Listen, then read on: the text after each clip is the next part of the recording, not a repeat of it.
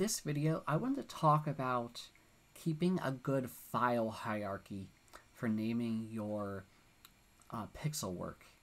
So, I'm using Aseprite, and uh, um, right now I'm using my uh, Windows computer. Whenever I do any of my art stuff, I well, I, that varies, but just just know that I'm using uh, Windows, Windows 10. So this is like the file hierarchy of uh, Windows 10. So I have uh, an Aseprite file, and basically uh, this is just the default. Uh, when you save your file, uh, you know you could, if you want to reopen it in uh, Aseprite, uh, you could either use the .ase or the .aseprite format. These are just file formats that you can use to reopen your work in uh, Aseprite, and also saves all of your uh, configuration, I believe, or it saves the configuration specific to the work that you were doing in the program. Um, yeah, these I know this is this confused me at first too. I mean, um, I kind of assumed that they were the same thing, although sometimes when it comes to assumptions like that, they could be dangerous, but not in this sense. So I'm using just the Aseprite because I kind of like to know that it, it's like that. So I made a folder called um, Assets. And in that folder, um, I made two folders, one called Sprite 0001 and another folder called Sprite 0002. I just made these uh, folders. I'm going to put uh, this sprite in here, but I do want to make a note. So I just kept the folder name the same thing as the Aseprite project name it could be helpful to choose a name that uh, that you know. So like you know that like you know you can make it like say if it was a tree you could say forest tree something or like like level one or you know something like that. It all depends how deep you want to uh, drill into your asset organization, whether it be for art purposes or for a video game. I think a lot of it starts with good file hierarchy uh, folder and file hierarchy and organization. So, to be honest, if you were, say, making a game, you probably want to make a folder called level 1.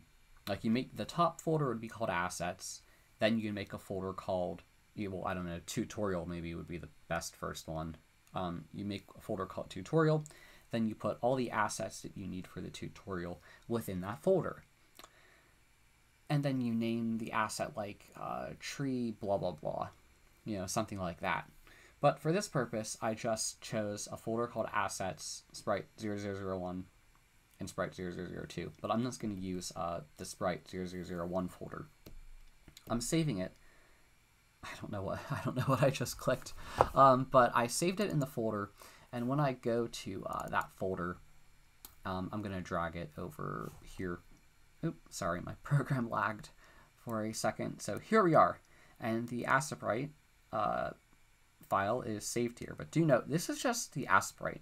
So this is so you can reference your own work, uh, whatever may be stored in there. It could be helpful that you also export your uh, palettes.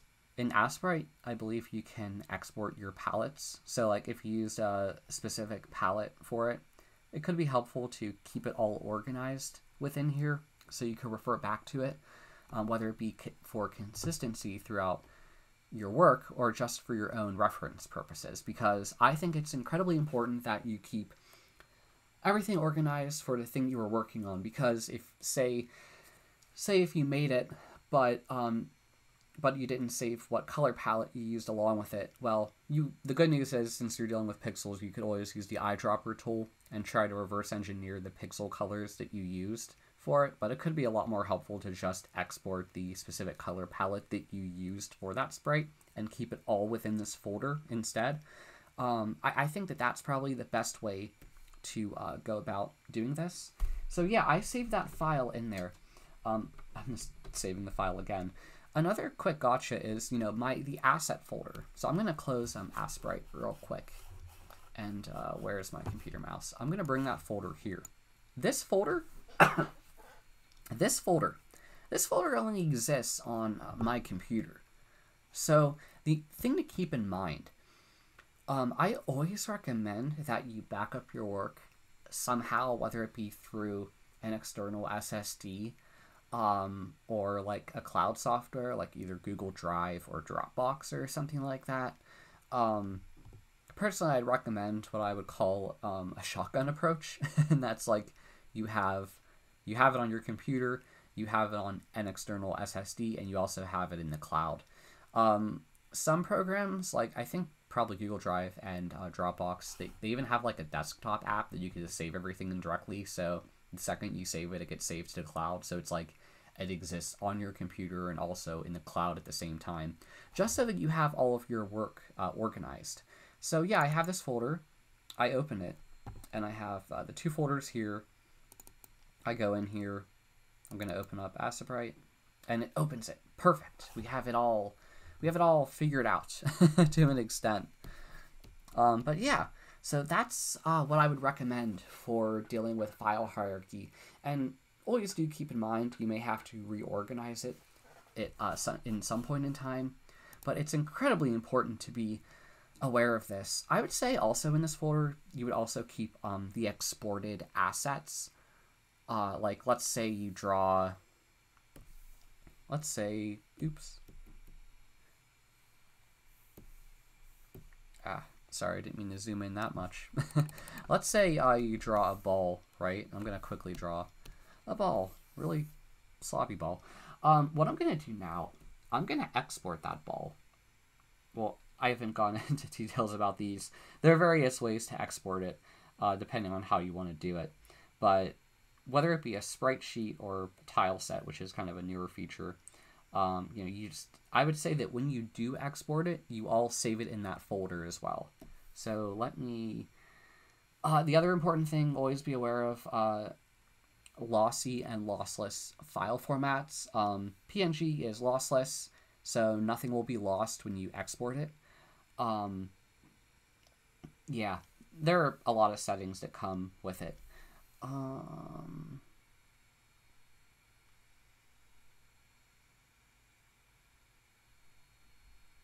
oops. So another mistake I did. Um, okay, so sorry, I forgot about this in the export settings. So uh, I'm not going to export the background layer. That was just like a way to show um, just to show the current one. Ugh, what am I doing wrong?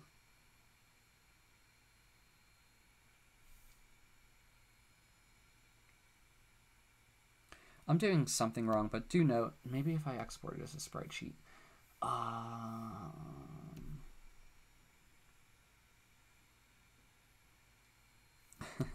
I'm doing something wrong, but uh, just note that make sure you export it as a PNG I think that that's probably the best way to uh, go about it. Oops, I keep doing this. But yeah, basically just note that when you do export this uh, thing as a ping or PNG, however you want to say it, keep it within that folder. So keep your artwork organized so you can refer back to it. Make sure you also export your color palettes as well to the same area. And also make sure that you back it up within the cloud or your own uh, external hard drive. And I will tell you this lucky for you, pixel art is pretty low when it comes to its file size. Um, we don't have to deal with as many limitations when it comes to today. So like if you get like if you get a hard drive, um, you'll probably never fill it. I mean maybe you will, but like it'll last for a really long time if you have an external SSD or something like that. Because pixel art, just wait the files on it are just like so low, usually in kilobytes. They probably could get larger depending on the resolution you want to do or if you do if you have larger uh, sprite sheets or whatnot. But yeah, be aware of file, file hierarchy. I think it's something that very few people really uh, think about that much. And I'll tell you this I really had to learn to appreciate, uh, it took me a long time to appreciate file, hi- file hierarchy. Uh, I've learned about it from structuring my own applications in code. And when you use assets in your own code, uh, it's really helpful to keep yourself organized because the second you have to go back to it and you're like, where the heck is this thing? Which I have done myself. Um, you learn from your mistakes and you try to stick to an organized and logical um, hierarchy. The only other thing that I'll tell you, uh, there's a thing called uh, camel casing. When you name your files, I always recommend that you start off with a lowercase letter, say an A, and let's say Um, and after that, every word you use like a, a, capital letter. Like let's say it's a tree. So I'm kind of running out of space here. Lowercase a and a capital T, then lowercase r, lowercase e, lowercase e. Uh, I always recommend you keep files named in camel casing just sticking to regular alphabet characters. Uh, do note that different programs behave differently with uh, different file names. So there's a chance that like if you use a weird character in your file name, like it may it may disappear. It may not work in your program. Your program may run into an error.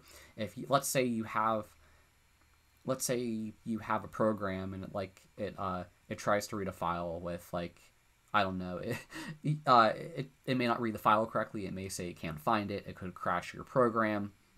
It's because some characters on your keyboard um, or just in the whole uh, Unicode or ASCII are reserved for certain purposes. So if you try to use a certain key or a certain uh, character, I should have said character, it won't allow you to use it.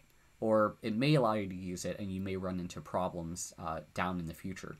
The other thing with that is, I don't like to go technical, but sometimes different operating systems handle uh, file name special characters differently. So it's like, oh, it may work on Windows, but the second you put your program on a Mac, it crashes because you used a weird character that you shouldn't have in the first place. So do be aware of that. Um, coming from my point of view, I've I fought with people in, in a verbal way talking about telling them not to use special characters in file names, but they're like, no, I like it. I'm like, what? It could cause issues, and they're like, but it worked before. I'm like, it may not work next time. The second you change it to a different operating system or update it, or you know, who knows what. Um, sorry, I don't like to talk like that, but just know that uh, keep it simple. Name your files stuff carefully. Avoid special characters. Use camel casing. Just stick to regular alphabet characters. As annoying as that is, and I know maybe you want to name something with a special character, don't do it for your sake because you could run into weird issues. There's another type of file called a dot file, which is a file that begins with a period. Uh, sometimes those are meant to be used by operating systems specifically, or mostly for configuration of some sort, or like storing um, passwords and whatnot. And they're usually invisible to the user, so you can make a file um, that's that basically is invisible to, on the user interface side, and you can only view it if you're uh, trying to view it through command line. And sometimes, even if you're on command line, you have to type a special, uh, you have to type a special signal to list hidden files. so yeah, I don't want to. I know I probably I probably have gone down the tangent here of just um, total bizarreness when it comes to um, talking about files and file hierarchy and all of that. But all of this stuff really matters to you for your organization, whether you're saving your own work or whether you're bringing your work on another computer or whether you're working with a programmer or you know for for some other type of art or video game not to say the two are different or one the same um, but you get what i'm trying to say. I mean every just be aware of all the purposes it can serve uh, and as they always say keep it simple stupid. And i am stupid. No i'm just kidding um, but yeah, keep keep it simple, as they say. Always keep it simple. It helps to. I tried to draw a pair of lips, but it didn't work out as how I wanted to. but yeah, keep it simple, stupid. Um, that's that's what I would say when it comes to this. But yeah, no one. I feel like no one really thinks about this. I feel like uh, most people just store their stuff however they feel. Then uh, down the line it becomes a problem when they can't find the file that they're looking for. Um, keeping this hierarchy and whatnot could also help you when you're searching for your own work. Um, you know, obviously before I talked about naming a folder called, you know, like tutorial level or level one or area one or tutorial area, etc. But when you do that, you know uh, exactly where to look for the assets that you're working with rather than having just everything stored in the same folder and you're like scrolling for hour minutes or hours probably minutes to try to find your asset file to change and yeah it becomes a whole mess. So keep it simple stupid. Keep yourself organized. This is something that i feel like no one no one really knows and the only reason well i mean i'm pretty sure some people know but for the most part the, the reason why i stress upon it so much is because um, i have some experience writing applications and um, i've I've run into issues in which I uh, I've, I've had to look for stuff. I'm like, where the heck did I put this? I said that already, but I really have gone through the pain of doing that. Um, I've worked with other programmers and their code, and uh, they didn't care about file hierarchy, and they didn't care about documenting where their files are, and I had the pain of having to find them and fix them. And like when something goes wrong, I was the one who had to find it. I wasn't the original programmer, so it's like I didn't know what they did and where they hid the files. So I learned a lot in how to navigate.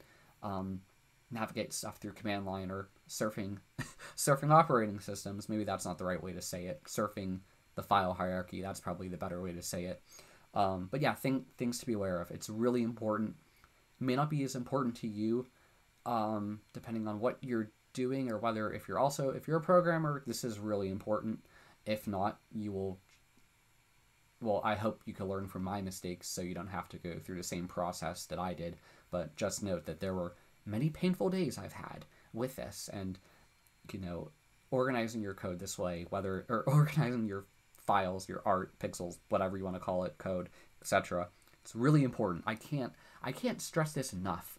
Um, oh, darn, if I had to give just a little history about myself, uh, it would be I worked with uh, different in some of my programs, which I talk about before, like uh, Drawesome, Thumbtastic. Some of my early applications I just used um, the native code and the native workings of um oh, shoot what's it called again? I can't believe i'm forgetting it. Electron i use electron js to uh, design my applications. Well not design just the backend not the backend well kind of just the application itself. Then i use html css and javascript to uh, do all the inner workings. And when i did a lot of that uh, the hierarchy was a mess. And eventually i learned to do uh, refactoring which is basically basically reworking all the files and keeping everything organized and keeping you know if it if it goes together it stays in the same folder. And by doing that i was able to organize myself better. I know that if i need to fix something i know exactly where to go to to fix it and i don't have to look at all the files at once.